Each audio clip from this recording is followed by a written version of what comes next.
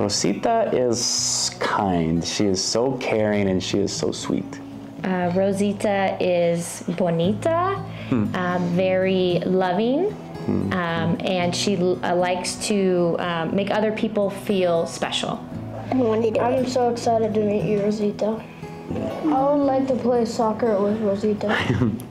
I am so excited. I am so nervous, but I am so happy to finally see you and give you a big hug. Yeah.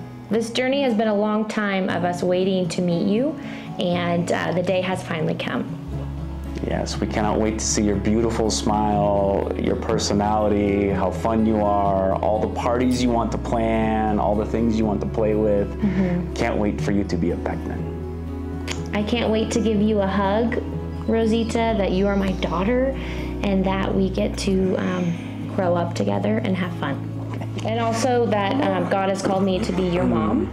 And I know that this journey um, is hard. And I'm just um, honored that you are a part of our family and that you chose to be in our family too.